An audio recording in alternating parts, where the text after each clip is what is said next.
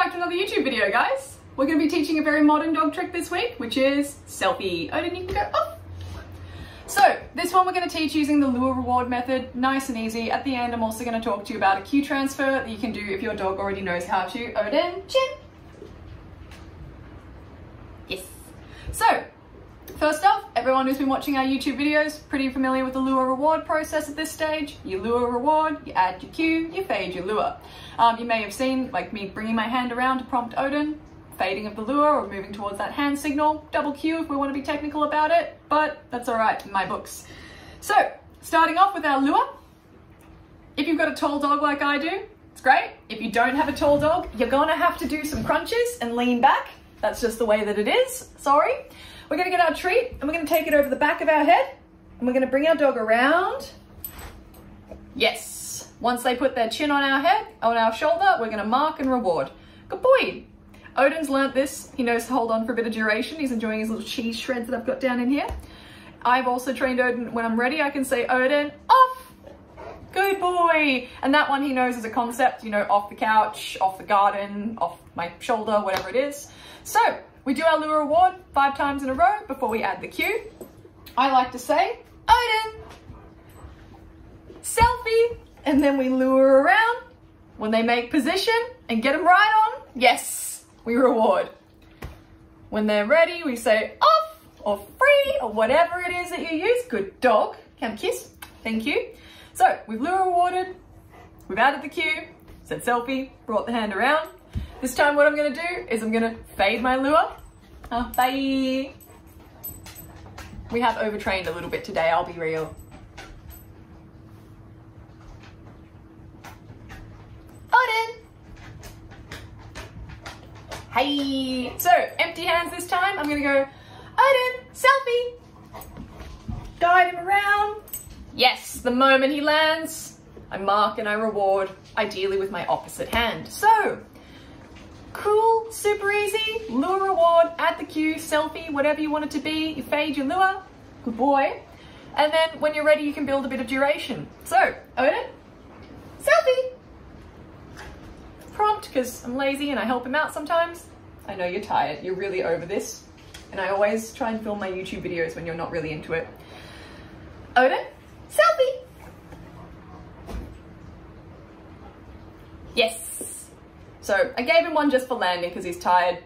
If I want to start to build duration, I'll get him on say, Odin, selfie.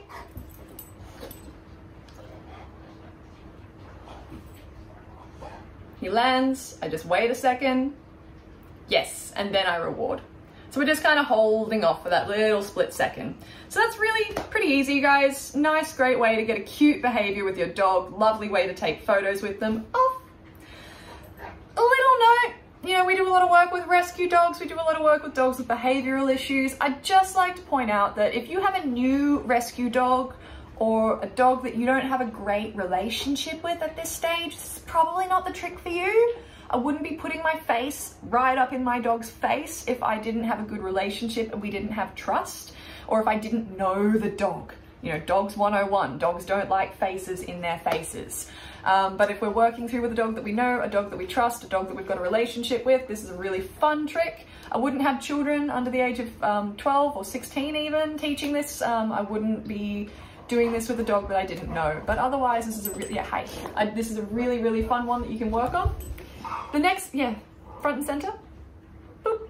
The next thing that I talk about for you guys is cue transfer, saying that um, if you already trained your dog to rest their chin on your hand, and I mentioned about how Odin knows off as a concept, I mean, we can talk about the chin rest as a concept, and we can talk about transferring the cue from chin to selfie.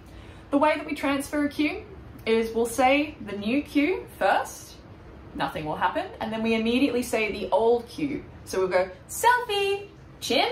The dog goes, I know chin. I like treats. They'll come around and they'll get the reinforcement for that. Do you want to show it off? Are you awake enough? Do you touch? You know, you seem like you wanted to do it. So, new cue, old cue, the dog does the behavior. Because of the old cue, you reward them. Repeat that cycle a whole bunch of times. When you get to the point where the dog's starting to seem like they understand the relation between the new cue and the old cue, what you do is you ask the question by just waiting off a few seconds. You'll give the new cue, And then you just wait and you see what happens. Dogs are like us. They want to get the most reinforcement for the least effort. So your dog should start to put two and two together. They go, she said selfie, then she said chin, and then she put the chin rest prompt here. I wonder if when she says selfie, if I just put my chin there, will she give me a treat faster? They suddenly figure out, they think they've gotten a shortcut to getting their reward, and then you go, bam, I just pulled two tricks out of the price of one. So, Odin's dead to the world now, so I'm going to demonstrate with my invisible dog. We'd go, selfie, chin, the dog does the behavior, we reward. Repeat until eventually we go, selfie. Hopefully the dog does it, we reward. And then we just get to the stage where we just go, selfie. And if the dog doesn't do it after like two, three seconds, then you go, chin, just to remind them. It's kind of like putting the training wheels back on to go down a really steep hill. But over time, you start to see if you can just fade out that second cue and just go selfie. So we've talked about selfie trick, we've talked about cue transfers. I hope that's been fun for you guys. Um, if you're having troubles with your dog in the wet weather, make sure you hit us up because we do have online consultations available. Um, wet weather is no barrier to dog training, although a lot of people do seem to think it's a, um, a summer sport. So make sure that if you are having issues with your dog, if they're getting stir crazy, if they're not wanting to go out for walks because they're made of sugar like my dog is, us up. We'll set you up with an enrichment program or a trick training program that you can work on in the comfort and the dry and warmth of your home. With that, we'll say thank you very much. Um, we launched our website this week. We'd love if you guys checked it out, howlingsuccessdogtraining.com. Um, and otherwise, happy training, you guys.